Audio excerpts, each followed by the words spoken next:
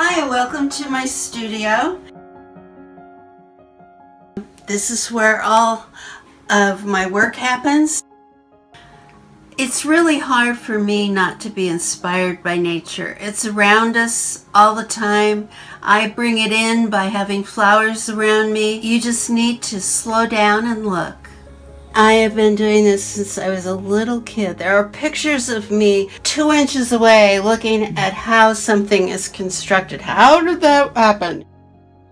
When I was a, a child, uh, I had a real hard time learning to read.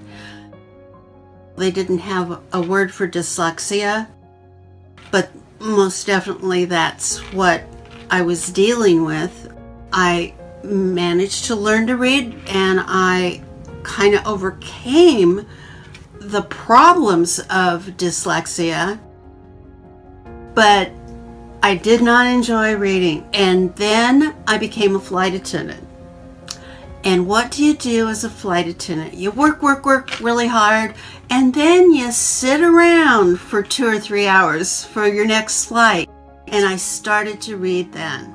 The first person that I started reading all of the biographies of Colette. She's a French writer. She wrote a little kind of, well, she wrote Gigi, but it was little country girl stories. I was interested in her life and how she proceeded as an artist and, and became successful. Then I started reading about all of the Impressionists and their use of color and their nature plein air painting. So it's all about being outdoors in nature. What was I doing as a flight attendant? I was going to the museums and I got to see all of their work. Reading has become something that has uh, evolved into a great pleasure for me. Mostly this is where I work to do my metal work. Although it's an organizational center as well because I'm putting together, if I'm putting together kits, there's beads and beads and beads and beads forever in all of the colors. I, I organize by color and um, there's all kinds of shapes. And of course, more beads over here. Uh, this is full of all seed beads and it's all by color. So I can just come in. I a lot of times will kind of work out my palette before I ever start gathering things up and then I'll just like start dumping things out over here on the table and eventually narrow it all down to what I want to work with. Another thing here that I got not too long ago is this little cart. And I just got it at Michael's, but it is, I can roll it around if I'm working at the bench over here or whatever. And as you can see, it's got my uh, disc cutter, shaping tools, my uh, hot blowgun so I can uh, work with my pitch.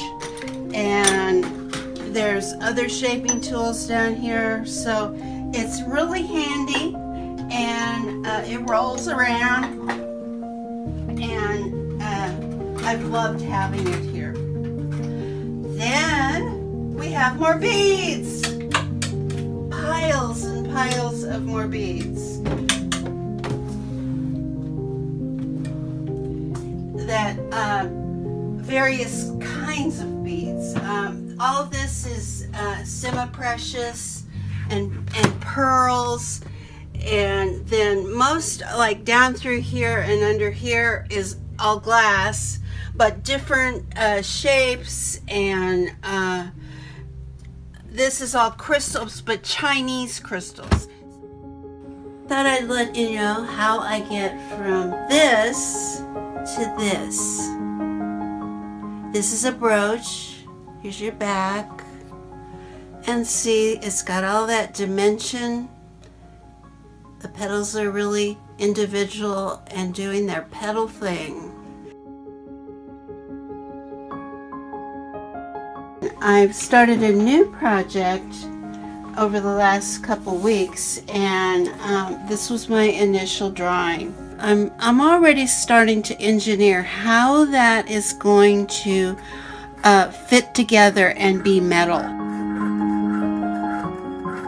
This uh, actual part right here will be sterling and then there'll be another layer above this so more petals uh, that will be copper and I will be uh, coloring it with Prismacolor pencils. And this is what I've done here. That's how I've gotten all that color onto this metal because this is copper as well.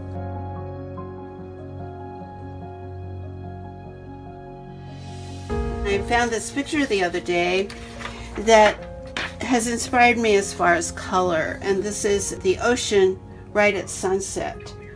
I found that bead. That's inspired me. Those colors and that's where I'm sticking uh, to as far as my palette. And I kind of obsessed about this one bead I want to use they're just amazing. They have all these peacock colors in them and texture. So that'll be this one and it'll be made out of beads. The one that I'm constructing is sterling in the back, so that'll be this part. And then it will have another layer made out of copper. That is part of what I'm engineering as I go to get that all to fit together and stay together to be able to make this and and and have a pattern I went to my computer and I drew the pendant in the computer. And then all I do is cut it out glue it onto my metal and I saw all that out and make that shape. Of course I had it for the copper portion as well. You can kind of see the little tabs that are raised up here and cut out those will fold over the copper portion. I took a class about, oh God, that must have been about 10 or 12 years ago with Sherry Jade and I made this workbench. And I mean, this thing is rock solid. It's gotten a lot of wear and use over the many years I've had it and I love it.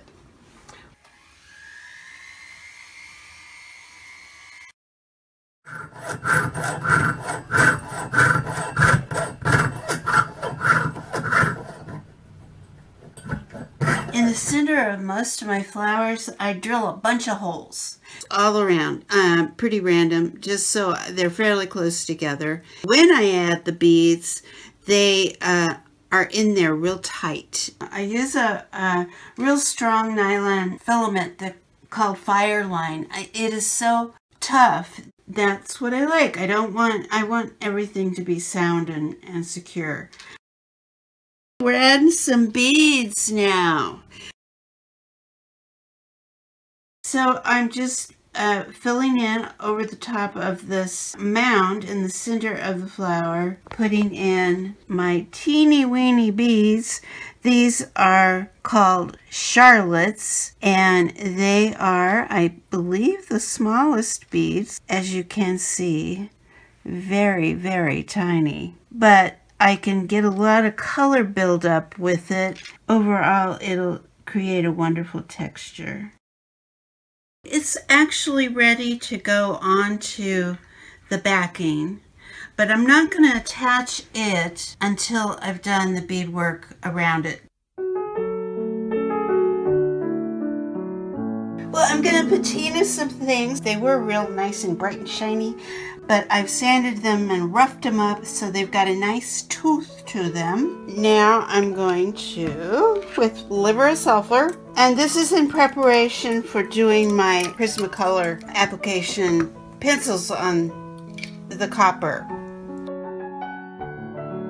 Now this should turn pretty quickly. Yeah, there goes. And that, these are a couple of hooks I made that I put on um, necklaces. And they're sterling, so they'll take a little bit longer to get dark than the uh, copper. But it's a magical thing. I'm going to paint some gesso on my copper pieces that I patinaed a little bit ago. Gesso is sort of like Elmer's glue, a real thick substance. Oil and acrylic painters size their canvases with it. I'm going to give put it onto my metal to give it a base for my colored pencil.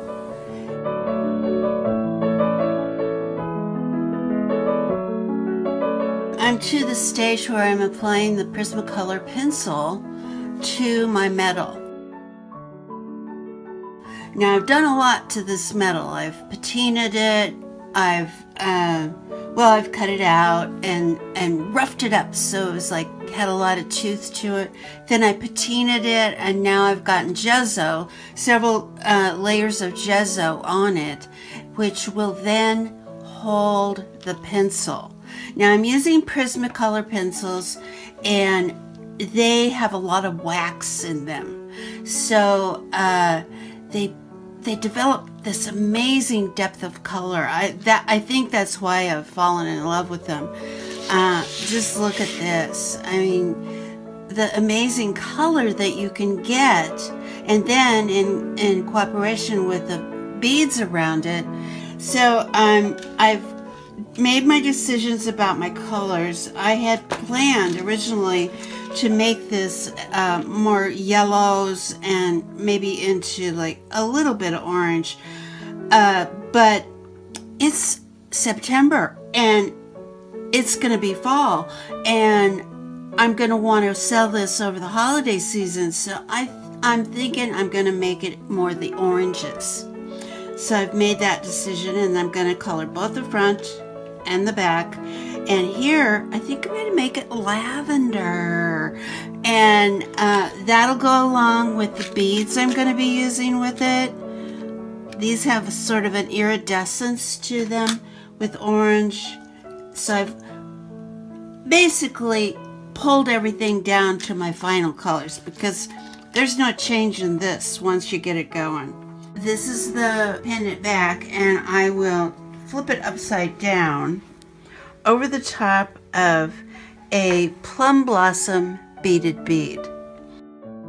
I'm attaching my last beaded bead to here. So as you can see, I've, I've built these beads onto the circle. I'm on the last one, and that'll be these beads, which I'm excited about. I think they're really just amazing.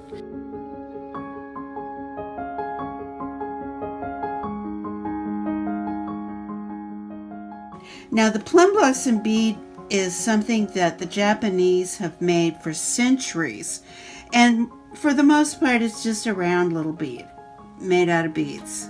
A few years ago, I started playing around with shapes. Started making that round little bead with all kinds of shaped beads. I do not think I have run out of shapes of beads to complete this bead. I think I'm up to about 20 different ways to make it.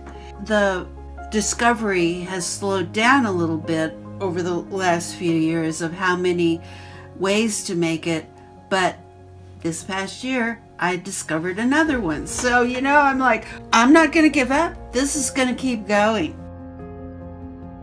I think we're pretty much to the end of this pendant and now it's going to be a necklace because I'm picking out my chain. Actually make some decisions about that. This is a heavier chain and I'm kind of thinking that might be what I end up choosing. I think it's um, it matches the weight of what the pendant is. Then I have to decide what size of this closure and the lobster claw closure. If I choose this chain I think probably the medium will be the good one. I'm so excited by the way Sunset Gathering turned out. Every piece of jewelry I create is a special part of me, and it makes me so happy when it goes out into the world and a woman wears it and it gives her joy.